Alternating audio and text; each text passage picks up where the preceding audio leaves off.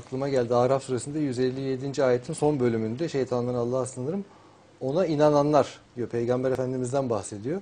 Ama ahir zaman yönelik düşünürsek diye aklıma geldi. Ona inananlar, destek olup savunanlar, yardım edenler ve onunla birlikte indirilen nuru izleyenler işte kurtuluş erenler bunlardır. Tabii ki aynı zamanda Mehdi'ye bakan bir ayet bu. İnşallah.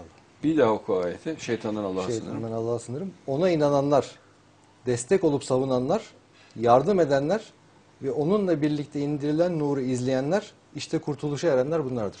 Yani yardım etmek deyince hep insan aklına işte çıkarır cüzdanından para verir falan gibi akla öyle olmaz yardım. Evet. Değil mi? Yardım nasıl olur? Bir kere gönülden Allah'ı çok seversin.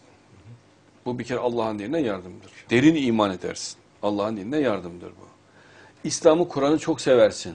Kur'an'ı böyle ekmek gibi görürsün. Bağrına basarsın. Her yerde yanında götürürsün. Değil mi? İnşallah. Bu dine yardımdır. Herkesi tavsiye edersin. Mesela farz edelim internette herkesin seyretmesini teşvik edersin. İnternetten yazıyı indirirsin, okutturursun. Bu da dine yardımdır. İnşallah. Parayla pek bir şey olmuyor. Yani bununla gönülle olur bu işler. Aşk da olur. E, Paramız olsa farz edelim katrilyon olsun. Adam dinlemedikten sonra, anlatamadıktan sonra kitap da bastırırsın. Evine de götürürsün kitapları. Kor rafına durur kitaplar. Evet.